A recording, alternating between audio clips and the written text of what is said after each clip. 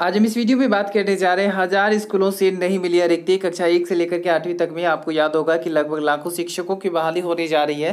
ऐसे में अभी तक स्कूलों से रिक्ति नहीं भेजी जा रही है। एक बहुत बुरी खबर कहा जा सकता है। बिहार शिक्षक बहाली प्रक्रिया शुरू होने का जो हम इंतज़ार कर रहे थे, इसको लेकर के क्योंकि अभी तक आप देख सकते हैं, हज़ारों स्कूलों से अभी तक रिक्ति नहीं मिल पा रही है। ऐसे में हम जो उम्मीद लगाए बैठे हैं कि एक लाख शिक्षकों की बहाली होगी, कहीं ना कहीं कहा जा सकता है कि बिहार स्टेट पास अभ्यर्थियों के लिए बहुत बुरी खबर। आप देख सकते हैं, हज़ार स्कूलों से अभी तक नहीं मिल पाई है रिक्ति। आज का एक लेटेस्ट अपडेट है। कार्यों की लेट लभी थी, एक बार फिर जो है सैकड़ों अभ्यर्थियों के नौकरी के सपने पर ग्रहण लगा सकता है चार साल पहले पाँचवें चरण के शिक्षक नियोजन में कई नियोजन इकाइयों में, आपको बता दें, यहाँ पर एक ब्रेकिंग न्यूज़ की कई नियोजन इकाइयों में सीटें रहते हुए भी अधिकारी के लेट लतीफ़ी के कारण या लापरवाही के कारण अभ्यर्थियों की बहाली नहीं हो सकी। उन्नीस बीस में छठे चरण की बहाली की शुरू प्रक्रिया में भी इन अधिकारियों की लापरवाही अरंगा लगा रही है। आपको बता दें कि अब तक एक हज़ार स्कूलों से शिक्षक बहाली की रिक्ति संबंधी रिपोर्ट अब तक नहीं मिली है।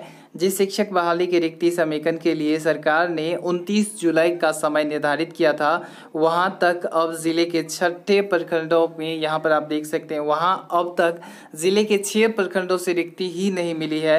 ज़िला द्वारा रोस्टर का अनुमोदन करने का समय 16 अगस्त तक दिया गया था, मगर ज़िले में अब तक रिक्ति तैयार नहीं हो सकी है। आपको बता दें कि स्थापना कार्यालय में शनिवार को विभिन्न प्रखंडों के नियोजन इकाइयों के अधिकारियों के साथ समीक्षा बैठक में यह मामला खुला है। एक सप्ताह पहले भी इन प्रखंडों को दो दिनों का समय रिक्ति देने के लिए दिया गया था। इसके बावजूद भी की नींद अभी तक नहीं खुली है।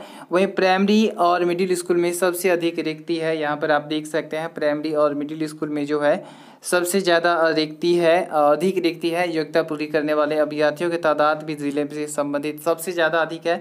यानी कि जितनी ज़्यादा रिक्ति है, उतने ज़्यादा अभ्यर्थी भी है, लेकिन बहुत बुरी खबर कहा जा सकता है। यहाँ पर आप देख सकते हैं कि हज़ारों स्कूलों ने अभी तक नहीं भेजी है रिक्ति।